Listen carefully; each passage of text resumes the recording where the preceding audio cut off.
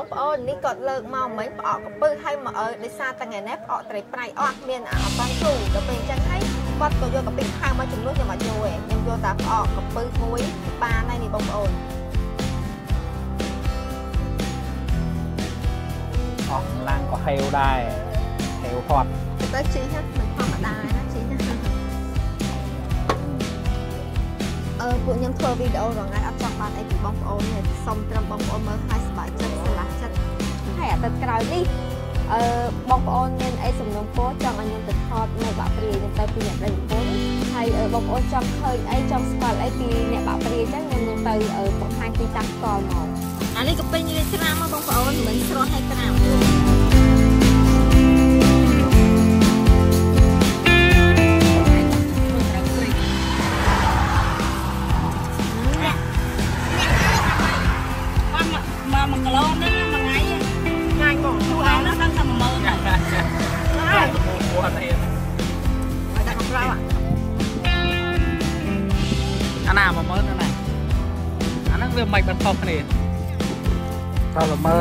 ក្រហមក្រហមมันនឹងមិនខ្លាយ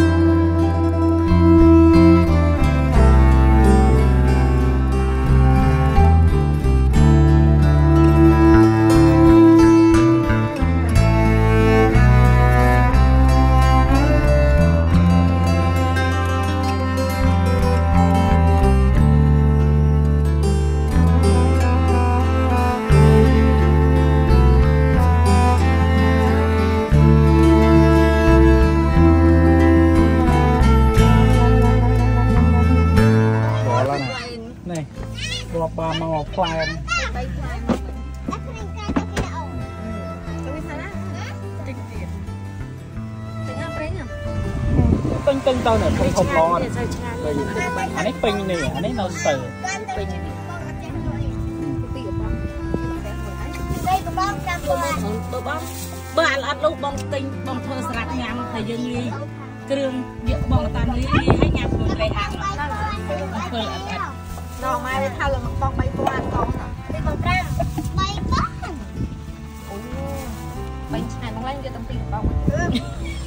ចាំដើរ lâu ច្រើនមែនបែបណាវាច្រើនបាយពេញនេះនេះតែពេញទិញនេះស្អីនេះវាកថាណាចេះចាំទៅចាំយកទៅឯងថាចំឡើងម៉ូតូខ្ញុំក្រៀត1គីឡូទៅនៅនៅខាងនោះអូនេះពេញនេះយ៉ាងណាស្លៃហ៎មែនស្លៃតាមប៉ុន្តែសមុទ្រគេរយធ្វើចាំមើលពីមកមកនេះវិញទៅក្រោយគេរយធ្វើទៅប្រាប់អាម៉ៃថាខ្ញុំលុយឲ្យហើយអាម៉ៃរយធ្វើទៅចាប់បងបានមកធ្វើលក់ឲ្យចាំមកគេ អស់អឺប្រាប់បងអានេះក៏ពេញនេះច្រាមមកបងប្អូនមិនស្រស់ឲ្យត្រាំគ្រប់មកពុកអាត្រាំទេឆ្ងាញ់មួយយ៉ាងបាទតែបានអាបែកបែកឆ្ងាញ់អត់ទេអានេះហើយបានឆ្ងាញ់អានេះអានេះបែកញ៉ាំជាមួយយើងធ្វើត្រូវនេះហ៎ព្រីបែកអានេះធ្វើត្រូវព្រី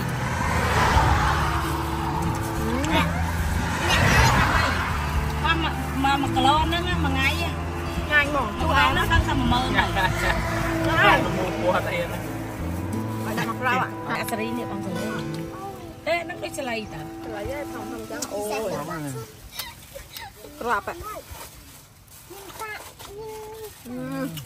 បើញ៉ាំលោកក៏លេទុកមាត់ដែរងាញ់ហើយ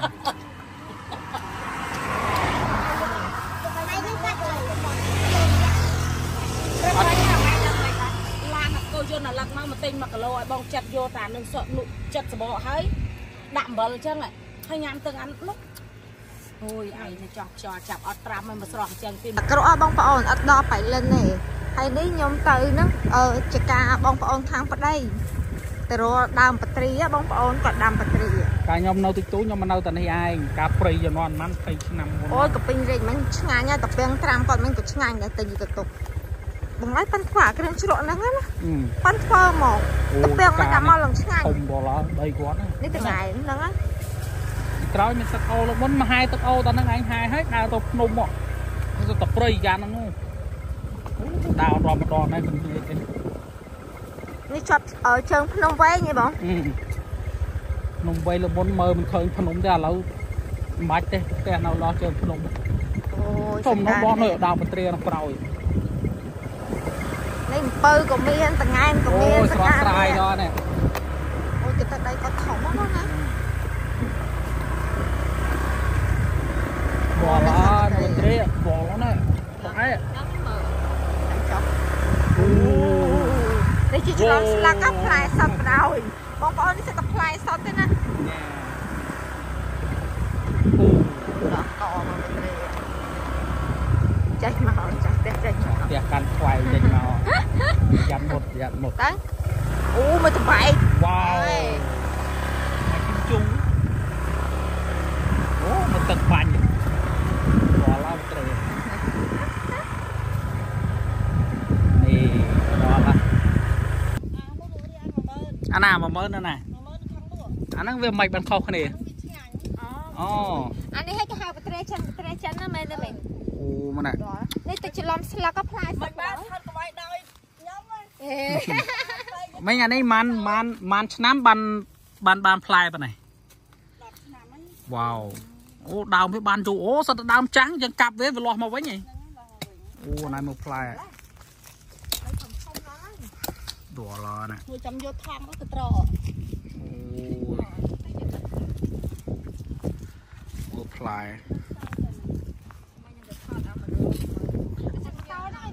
អានេះអានេះអា5000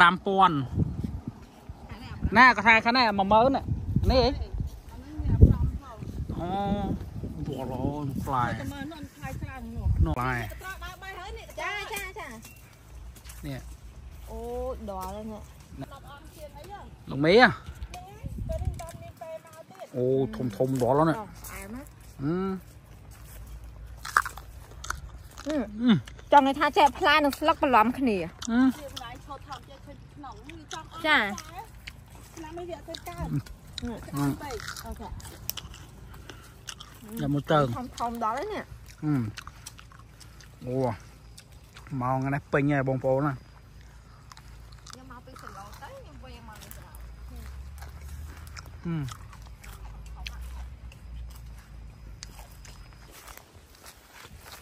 នេះទឹកអូបាទអត់អីទេមិញ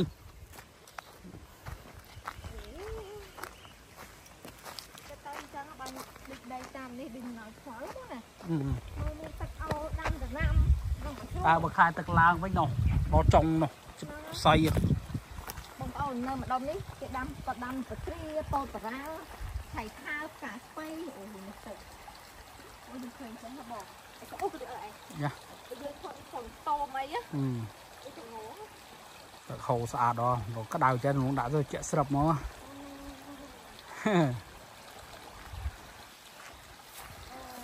អូយបងហើយម៉ែទៀតកាលខ្ញុំនៅទូចូលខ្ញុំលេងទឹកអូចាទឹកអូនេះលេងអស់ខាងនេះចង់តលេងមែនណាហើយបាយដាក់ចូលទៅជាស្រាប់អូយស្រាប់នេះវាយ៉ាងណាលីមកនេះទឹករែកទេជាអូយណាមិនខ្វល់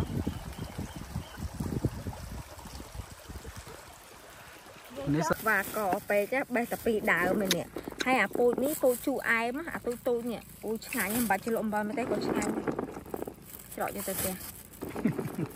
តែតបាយក៏ឆ្ងាញ់ដែរហឹមក្បាយឆ្ងាញ់លេខ1អូយនេះនៅខាងក្រោយខ្ញុំនេះទៅច្រឡំស្លឹកឃើញខៀវខៀវនេះទៅច្រឡំស្លឹកសិតតែផ្លែទាំងអស់តើតើមើលអាក្រហមក្រហមមិនដឹងតែផ្លែនោះណាអាទុំទុំនេះមើលផ្លែ ដល់នៅខាងនេះសបោតំណាំមកមែនតើអឺបងប្អូនឥឡូវនេះម៉ោង3កន្លះខ្ញុំត្រឡប់មកពីភូមិតាក្រក់វិញខ្ញុំឈៀងចូលកន្លែងបាយមន់ស្រែម៉ែអាអើយដែលបងប្អូនជីពីបាត់ដំបងមកនៅខាងឆ្វេងដៃបើសិនជាយើងជីពីប៉ៃលិនឬក៏សំឡូតមកនៅខាងស្ដាំដៃឥឡូវនេះខ្ញុំចូលទៅខាងក្នុងចង់ដឹងថាគាត់មានអីគេលក់ខ្លះ អឺបងប្អូនពេលដែលយើងជិះតាមមាត់ផ្លូវយើងឃើញមានកញ្ចុះទូចទូចៗតែមិនមែនតែកញ្ចុះប៉ុណ្្នឹងទេពេលចូលមកខាងក្នុងមានជាអឺកញ្ចុះហើយក៏ដាក់ជាបងអង្គុយក៏មានជាលក្ខណៈកញ្ចុះក៏មានហើយនៅទីតាំងនេះមហូបអីក៏មានដែរតែសំអីដែលសំខាន់ជាងគេគេផ្ដោតលើមាន់ស្រែមានដូចជាបុកមាន់បុកអីចឹងទៀតណាអឺតាមពិតទីតាំងនេះខ្ញុំស្គាល់យូរហើយជីទៅហួសមកហួសអត់ដែលបានចូលបង្ហាញបងប្អូនទេថ្ងៃណាកុំឲ្យរំលងបាត់ដំបងដែរចឹងចូលហ្មងទៅ មាន់អាំងផ្លេទេមាន់អាំងនៅនេះតម្លៃប៉ុន្មានដែរ40000 45000អូមាន់អាំងមាន់អាំងហើយមានមាន់ដុតដែរ អឺបងប្អូនមិញខ្ញុំកំងហើយមាន់អឺអាំងនៅនេះមានមាន់អាំងអំបិលម្ទេសមាន់ដុតអំបិលម្ទេសឬក៏មាន់ដុតផ្សេងផ្សេងហើយចំពោះមាន់របស់គាត់បងប្អូនគាត់ប្រាប់ខ្ញុំថាវាមានតាមហាងឆេងដោយថ្ងៃថ្ងៃខ្លះមាន30000មាន35000មាន40000ហើយមួយវិញទៀតមិញខ្ញុំបានកំងផ្អកត្រីប្រៃមួយឈុតនិងផ្អកកំពឹសមួយឈុតចំពោះផ្អកត្រីប្រៃឬក៏ផ្អកកំពឹសដែលគាត់មានដាក់ជាបន្លែហ្នឹងមួយឈុតតម្លៃត្រឹមតែ10000រៀលដែលគិតជាដុល្លារស្មើនឹង2ដុល្លារកន្លះបងណាយមកព្រីង ដល់កនេះឥឡូវគេនិយមអាព្រីងធំធំហ្នឹងណាព្រីងយើទុយទុយឥឡូវមិនសូវមានទេនេះដល់នេះបើនៅខាងខ្ញុំអង្គុយខ្ញុំត្រូវឡើងបេះអានេះក៏មកមកខាងម្នាក់លបងហ្នឹងនេះដីខាងគេដីខាងគេមើលព្រីងឥឡូវទឹកមាត់ប្រោយតែព្រិញនេះមានអារម្មណ៍ថាដើមវាស្រួលឡើងបេះហ្នឹងមែនទេល្មមកតួតកន្លែងនេះបងប្អូនតិចទៀតណាតិ ចចាំមើលក៏រៀបចំហើយសដាំធ្នង់ក៏ដាំណាហ្នឹងហើយចាំមើលតិចមែនតើនេះអត់តាន់ទេបងអាការនោះភ្នំស្អីគេអត់ដឹងដែរចាំមើលថតពីលើឲ្យបងប្អូនមើលតិច ពីបងប្អូនទស្សនាវីដេអូមុនហើយដែលខ្ញុំធ្វើដំណើរពីអ្នកប្រេពន្ធទៅលេងសំឡូតបងប្អូនមានអារម្មណ៍មិនដែរហើយអឺបងប្អូនពេញចិត្តវីដេអូបែបហ្នឹងបន្តទៀតអត់អញ្ចឹងបើសិនជាបងប្អូនពេញចិត្តវីដេអូនៃការធួឬក៏ជិះម៉ូតូពីអ្នកប្រេប្រពន្ធខ្ញុំបង្ហាញទេសភាពឬក៏បង្ហាញកន្លែងផ្សេងផ្សេងៗនៅក្នុងក្រុងបាត់ដំបងបងប្អូនកុំភ្លេចជួយអឺ share ក៏ដូចជា subscribe វីដេអូនេះដើម្បីឲ្យបងប្អូនដទៃទៀតដែលគាត់អត់ទាន់ស្គាល់ពីអ្នកប្រេប្រពន្ធខ្ញុំហ្នឹងឲ្យគាត់បានទស្សនាវីដេអូរបស់ពួកខ្ញុំហើយ អឺចាប់ពីពេលនេះតទៅបងប្អូនអឺអត់ខកបំណងឲ្យខ្ញុំនឹងធ្វើ content ដើរជិះម៉ូតូអឺទៅតាមស្រុកទេសឆ្ងាយឆ្ងាយនៅក្នុងក្រុងបាត់ដំបងណាហើយអាទិត្យក្រោយនេះអឺបងប្អូនមានអីសំណុំពរចង់ឲ្យខ្ញុំទៅថតនៅបាក់ព្រាយខ្ញុំទៅពីអ្នកប្រិយប្រពន្ធហើយអឺបងប្អូនចង់ឃើញអីចង់ស្គាល់អីពីអ្នកបាក់ព្រាយអញ្ចឹងខ្ញុំនឹងទៅអឺបង្ហាញទីតាំងផ្ទាល់ហ្មងអឺតាមអីដែលគ្រួសារខ្ញុំទៅនៅរដូវប្រាំងនេះមិនដែរបងបាញ់បែកាវាមេរ៉ាដូចជា ប្រាំងនេះវាអត់ទាន់មានអីប្លែកស្អាតខ្លាំងខុសអឺនេះទេដូចខែវសាគ្រាន់តែថាទិដ្ឋភាពវាស្អាតប្លែកពីខែវសាត្រង់ថាតដឃើញតែសផ្ទះឃើញអីចឹងទៅយើងមើលទៅសំណោះសំណោកដែរអញ្ចឹងណាហ្នឹងហើយអញ្ចឹងខ្ញុំចង់បង្ហាញបងប្អូនពីទិដ្ឋភាពខែប្រាំងខែវសាក៏ខ្ញុំនឹងទៅបង្ហាញបងប្អូនដែរ ហើយមួយវិញទៀតដូចខ្ញុំអញ្ចឹងអ្នកខ្លាចទឹកអញ្ចឹងខ្ញុំគិតថាទៅរដូវប្រាំងមួយយ៉ាងដែរដោយសារតែវាអត់មានភ្លៀងអត់មានអីចឹងដូចថាយើងសុវត្ថិភាពមួយយ៉ាងខ្ញុំខ្លាចទឹកបងប្អូនហើយខ្ញុំទៅលើកនេះខ្ញុំមានកម្រងអឺទិញនំប៉័ងបាក់យ៉ុងចំនួន50ទៅ60ដើមដើម្បីទៅដល់ដើម្បីចែកក្មេងៗអញ្ចឹងណាបងប្អូន ជាក់ស្ដែងបើសិនជាទុកហ្នឹងយើងដឹកបានច្រើនខ្ញុំនឹងទិញទៅកប៉ិកកប៉ុកផ្សេងទៀតអញ្ចឹងណាបងប្អូនកុំភ្លេចទស្សនានឹងអាទិត្យក្រោយនេះខ្ញុំទៅឲ្យកូនខ្ញុំសុខសម្រាប់អញ្ចឹងណាអូឥឡូវមន់ឆ្អិនហើយនេះគាត់កាត់តំដុំតំដុំអីមកបើម្ទេសអូមើលតែគាត់រីតែអូអានេះអីគេប្រហុកខាងនោះវិលកាលនោះវល់ហី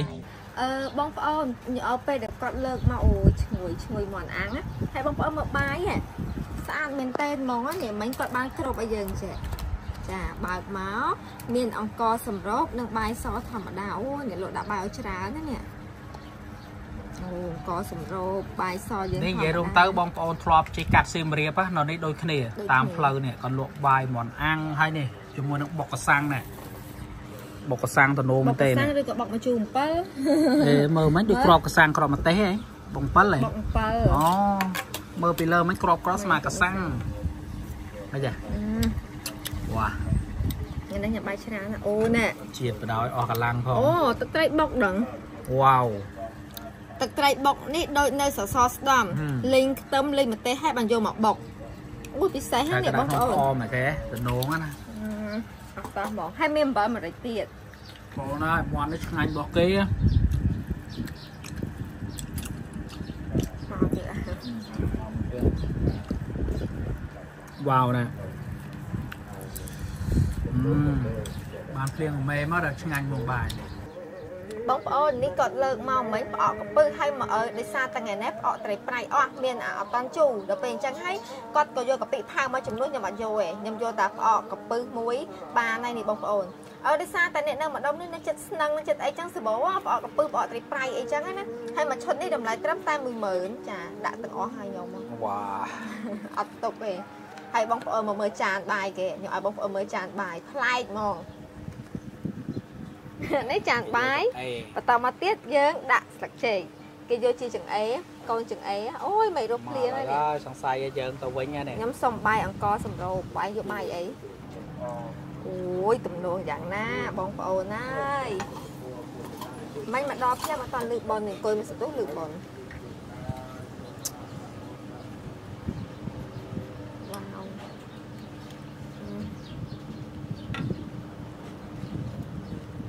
វ៉ាវ សុំបុកមកជូរ7មុនបុកក្តាម7គេនេះបកែបុកហ្នឹងនេះអឺស្តៀងបុកក្តាម7ត្រីឆ្អើមែនទេអឺ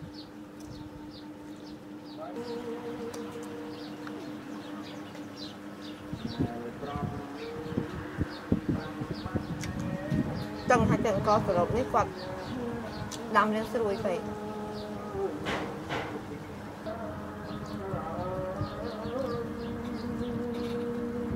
មែន ញ៉ាំចា គាត់ថាចាក់មន់ក៏ស្បែកខាងក្រៅរឹងរឹងតិចអាយណាជីអឺពួកខ្ញុំធ្វើវីដេអូរងថ្ងៃអត់ចង់បានអីពីបងប្អូនទេសុំត្រឹមបងប្អូនមើលឲ្យសប្បាយចិត្តស្រឡះចិត្តសប្បាយភ្នែកតាមពិតទេសភាពស្រុកខ្មែរយើងក៏ស្អាតដែរខែនេះហ៎យើងចេះចង់ចែកម្លែកឲ្យបងប្អូនដែលគាត់មានបំណងមកលេងស្រុកខ្មែរដឹងអញ្ចឹងណា បងប្អូនខ្លះគាត់នៅស្រុកខ្មែរបាត់ដំបងក៏អត់ដែរទាំងមកផងបងក៏ខមមិនណាទីចាស់គាត់នៅភ្នំពេញអញ្ចឹងគាត់ចង់ស្គាល់សំឡូតអីចឹងទៅយើងបង្ហាញឲ្យគាត់ដឹងតែអ្នកចាប់ពីថ្ងៃនេះដែលខ្ញុំបងប្អូនឃើញវីដេអូពួកខ្ញុំហើយណាមកមកអត់ខុសទេធូរ៉ែនក៏មានទុំដែររ៉េមានហើយហើយមកខែនេះវាអត់មានភ្លៀងអីផ្លូវអីអត់បាក់ជិះទេថ្ងៃហ្នឹង បងប្អូនមកហូបអញ្ចឹងញ៉ាំដៃបានត្រូវ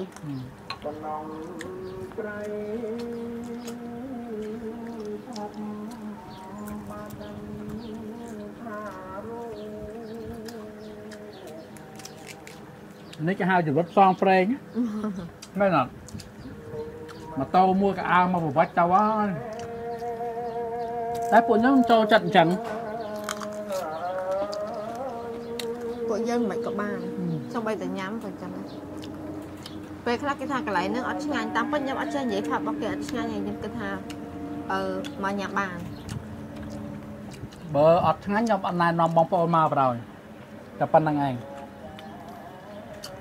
តែកន្លែងនេះមហូបគេឆ្ងាញ់ដោយសារតែអឺយើងទម្លាប់ញ៉ាំដូចថាមិនក៏យើងញ៉ាំបានណាអឺអឺរសជាតិល្មមទទួលយកបានខ្ញុំប្រាប់ថាទទួលយកបានតែបើអត់ឆ្ងាញ់ខ្ញុំអត់ផុសទេបងពើ ឥឡូវពិបាកដើរថតតែបងប្អូននៅតាមក្នុងផ្សារក៏ពិបាកដើរថតដែរអ្នកខ្លះគាត់អត់ឲ្យយើងថតទេ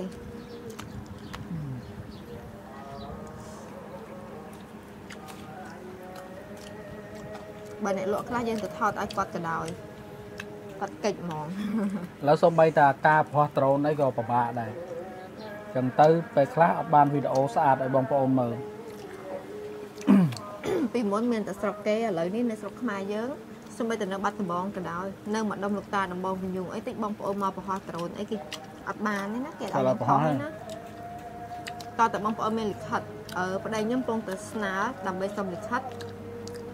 ថតផ្សព្វផ្សាយចឹងអត់អីទេបើយើងមក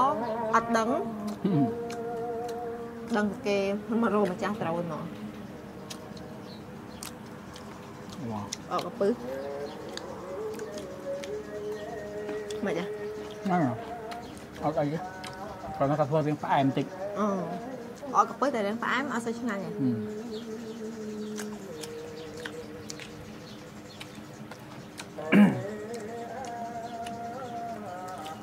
អាពួកឯងនៅតំបន់នេះតំបន់គាត់ហើយចង់ទៅរមៀនអកកពឹសហើយបងប្អូនអឺខ្ញុំនិយាយរឿងពិតហ្មងណាខ្ញុំដើរថតវីដេអូពេលខ្លះអឺបុគ្គលិក ក៏គាត់អឺរៀងពិបាកដែរពេលខ្លះក៏អត់សូវយកចិត្តទុកដាក់ភ្ញៀវអីចឹងណា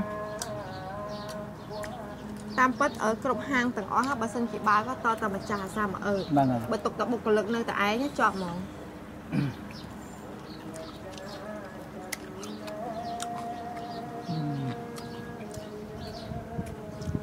ដូចអឺហើយរកភ្លៀងទៀតហាងមកកន្លែងនោះចូលទៅអត់និយាយរកខ្ញុំខ្ញុំស្ដីឲ្យវិញ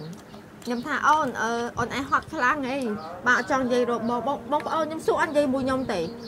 ហើយនៅទល់មុខគ្នាចេះពេលខ្លះម្ចាស់ហាងក៏អត់ដឹងទេអត់ដឹងទេខ្ញុំអឺអត់សូវចេះទុកដែរខ្ញុំថាចេះអូនបើឯងហត់ខ្លាំងហើយបាត់មកសួរអត់និយាយចឹងខ្ញុំសួរចឹងណាទៅបានបានចាប់ផ្ដើមនិយាយរកខ្ញុំវិញហឹមសុំមកឆ្អែតដែរបងប្អូន ដូចមុនចូលទៅមុខលឹងកំមើដាក់ខ្ញុំខ្ញុំសួរហ្នឹងសាច់ហើយគូអាំងមកចកាមកអាហឹហ្នឹងមមុខលឹងកំមើមិនដឹងគាត់កាត់អីទេហើយគាត់អត់និយាយរកខ្ញុំទេហើយខ្ញុំណារៀងឆ្នះដែរបងប្អូនខ្ញុំសួរតាមត្រង់អូនឯងហត់អីគេបានសួរអត់និយាយហ៎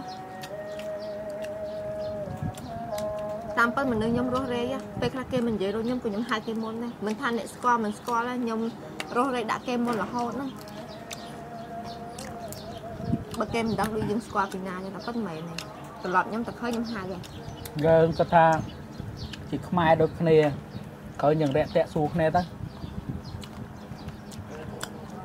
សំបីតែបងប្អូនដែលគាត់ទស្សនាវីដេអូពួកខ្ញុំមកជួបនៅផ្សារគឺដឹងតែខ្ញុំលើកដៃជម្រាបសួរហើយឲ្យតែខ្ញុំជួបភ្នំក្រោយខ្ញុំនេះគេហៅភ្នំវាយសាបទៅបងប្អូនខ្ញុំធ្លាប់តែឃើញអឺ ខាងទាហានអីក៏មកធ្វើសំយុទ្ធនៅនឹងគាត់ស្នាក់នៅហ្នឹងណាខ្ញុំអត់ដែរដឹងហ្មងហ្នឹងណាខ្ញុំហ្នឹងទាហាននៅច្រើនមិត្តភក្តិបងឯងនៅហ្នឹងហើយមកធ្វើទាហានហ្នឹងមកនៅហ្នឹងហើយអូយមន់តាមមកកំភ្លើចង់ឆ្អាតបាត់តាអានេះយើងខ្ចប់ទៅផ្ទះមែនទេបង ខ្ញុំអត់តន់ដឹងជាក់ស្ដែងមិនទេបងប្អូនជាមួយចេញពីនេះទៅប្រហែលជាខ្ញុំទៅថតផ្សាររាត្រីដូចថាតាតាំងពីគេបើកសម្ភពផ្សាររាត្រីនៅក្នុងភ្នំសំពៅមកអត់តន់បានចូលទៅបើប្តីខ្ញុំគាត់បានមកហើយអញ្ចឹងប្រហែលជាវីដេអូក្រោយខ្ញុំទៅទៀតខ្ញុំមកក៏ខ្ញុំអត់តន់ដឹងថានៅហ្នឹងមានលក់អីច្រើនដែរក៏តែមើលជាក់ស្ដែងចឹងថាទៅគាត់ជំនាញថតបើសិនជាឲ្យគាត់និយាយរាយរាប់ប្រាប់បងប្អូនថាមិនមិនគាត់អត់សូវជំនាញទេជំនាញមួយយ៉ាងម្នាក់ខ្ញុំថតដល់ញ៉ាំ ឆ្ងាញ់ខ្ញុំប្រាប់ឆ្ងាញ់ហ្នឹងបុក7ឆ្ងាញ់មិនបងស្មាបុកអឺកសាំងទៅឆ្អើឡាយើងគ្នាចោះយើងនេះអឺទស្សនភាពមកខាងក្រោយហ៎បងប្អូន ខាងក្រោយមានភ្នំមានអីចឹងទៅក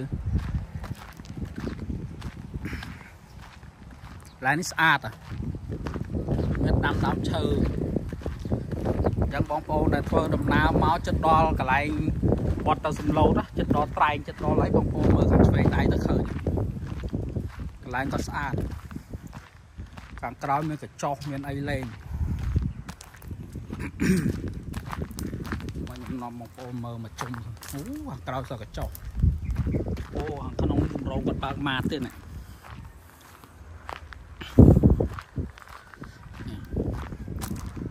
អូធំកន្លែងនេះធំធំមែនតើនេះ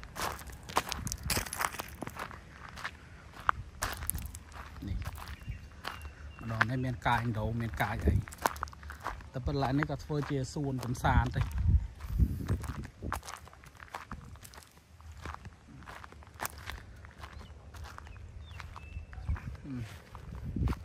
ភ្នំ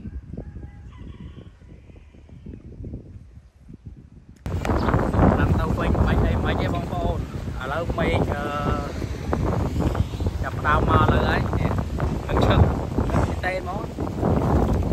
មកហើយ ដល់យើងឆប់មន់សពីបាទ រៀប ចំចេញទៅទៀត